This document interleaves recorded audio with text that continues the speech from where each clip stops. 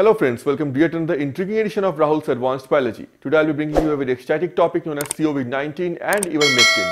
Is it promising or is it full of hype?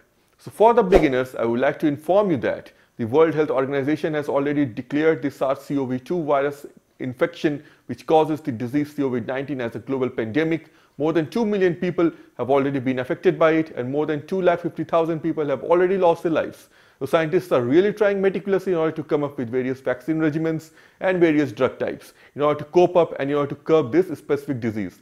In my previous videos, I've already talked about various drugs like azithromycin plus chloroquine, hydroxychloroquine, tocilizumab, and I've also talked about RNA-dependent RNA polymerases, right? So in this very video, I'll be talking specifically about a very recent drug which has come into picture, which has come into limelight, known as ivermectin. Actually, ivermectin is a very, very old drug. It was discovered in 1970s. So before going into ivermectin, I would like to brief you about the SARS-CoV-2 viral ingress, which I've already discussed in my previous videos. So what happens is the SARS-CoV-2 virus is a positive sense RNA virus with a non-segmented genome and it's also an enveloped virus. It needs to be cleaved at its spike protein. The spike protein needs to be primed into S1 and S2 fragment. The priming may occur by TMPRSS2 proteins, transmembrane serine proteases. It can also occur by furin and various other proteins. After it binds to the ACE2 angiotensin converting enzyme 2, a type 1 transmembrane protein, it gets ingress into the cell. It gets its entry into the cell via the endosomal route, via the lysosomal compartment which can be a promising target for hydroxychloroquine and chloroquine which have been discussed in my previous videos as they are lysomotropic they increase the pH of the lysosomes thereby they inactivate the cathepsins which are expressed in lysosomes and again they can inhibit the viral proteasomal cleavage. After this step it goes on and it starts to replicate via RNA dependent RNA polymerases right then there are two specific proteases main protease and papain-like protease, ML pro and PL pro And then we have NSP12 which have been already which has been already discussed in my previous video which is the RNA dependent RNA polymerase RDRP of SARS-CoV-2. Now in this very video I would like to talk about ivermectin. Ivermectin is an FDA Food and Drug Administration approved drug for parasites. It's an anti-parasitic drug. It's an derivative of avermectin 22, 22 23 dihydroavermectin B is also the scientific name of ivermectin.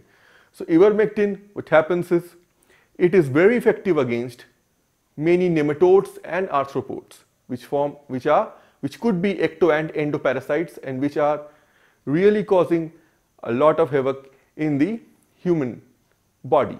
Now how does it really act? The scientists have found out that ivermectin, it inhibits the glutamate chlorine dependent voltage gated channel in case of nematodes and it causes the pharyngeal and body wall paralysis leading to death. But ivermectin is least harmful to human beings. Why?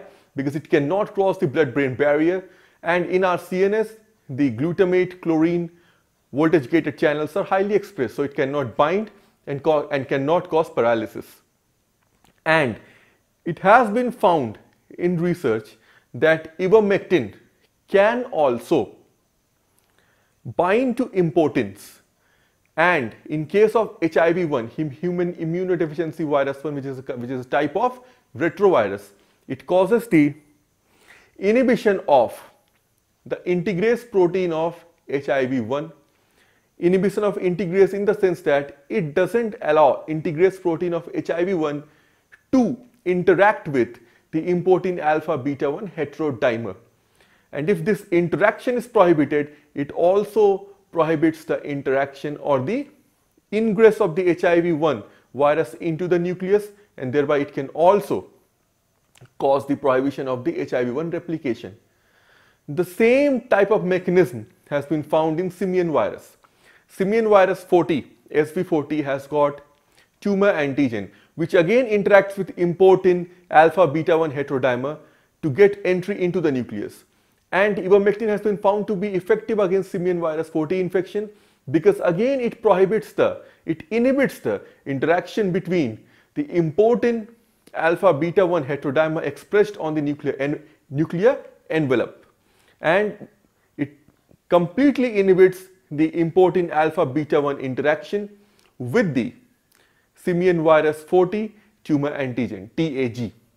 Next up is the dengue virus. It has been found in research that in case of dengue virus, the NSP5, non-structural protein 5, also interacts with the importin alpha beta 1 heterodimer expressed on the nuclear envelope. So again, ivermectin is effective at stopping, at seizing, at inhibiting this interaction and thereby can cause inhibition of dengue virus infection. In the previous research, the SARS-CoV, which caused the SARS pandemic, severe acute respiratory syndrome, SARS-CoV-1 virus, which is highly identical and related to the SARS-CoV-2 virus. It was found that the nucleocapsid shuttling happening in the SARS-CoV-1 virus via the nucleocapsid entry into the nucleus via nucleocapsid and importin alpha beta 1 heterodimer interaction was also inhibited by the use of the drug ivermectin. So ivermectin was a promising therapy for SARS-CoV-1 infection which caused havoc in 2003. Now in, the, in one of the research papers published in the journal Antiviral Research, the link to that research paper has been posted in the description box below. You can click on it and read the research paper for yourself. In that research paper, it has been, the scientists have tried out cell lines and they have tried infecting the cell lines with SARS-CoV-2 virus and they have also administered ivermectin in order to see, in order to observe what all efficacy dynamics can be happening, the pharmacokinetics and they wanted to check the real potency of the ivermectin drug. So what they found out was after 24 hours, the viral load, the RNA load of coronavirus SARS-CoV-2 was decreased by 93%. After 48 hour duration, the viral load was decreased by 99.8% and the viral load was also decreased more than 5000 times the viral load of SARS-CoV-2 virus or the positive sense RNA non-segmented RNA of the SARS-CoV-2 virus was decreased 5000 times in the cell line. So it's a very promising therapy and there was no side effect which was clearly evident after the doses that they had administered. So it was quite safe in the cell line. But since it's an in vitro experiment, we have to wait for the in vivo experiment because the results could vary. In vitro and in vivo results could vary a lot.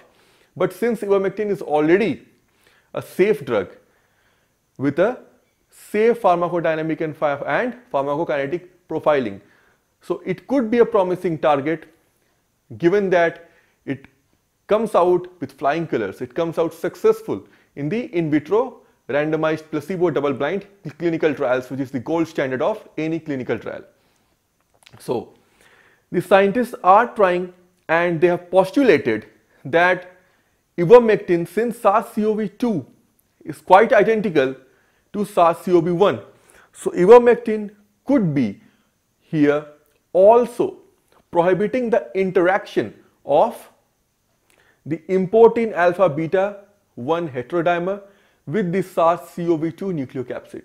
So the same mechanism could be underway but it has to be elucidated. There is no evidence in order to prove this mechanism but it has been postulated that the same mechanism which was happening in SARS-CoV-1 could also be taking place in case of SARS-CoV-2 which is the inhibition of importin alpha beta beta 1 alpha beta 1 interaction with the SARS-CoV-2 nucleocapsid.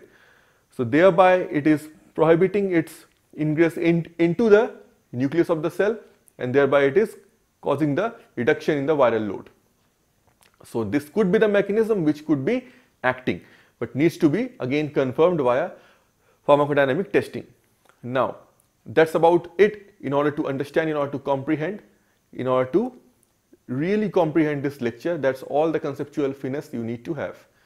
Now if you have liked the video, kindly hit the like button. And if you have any kind of questions, any kind of queries in your mind, do not hesitate to post it in the comment section below. I'll be replying to it as soon as possible. In the description box below, I have also put the links of other COVID videos that I have posted. You can refer to them. And I have also posted the link of my Facebook page. You can contact me via messenger app and you can privately ask any kind of questions that you have in your mind. I'll be replying as soon as possible. So if you have liked the content, kindly hit the subscribe button and also hit the notification bell so as to get notified whenever my next video comes online. Thanks a lot. See you soon.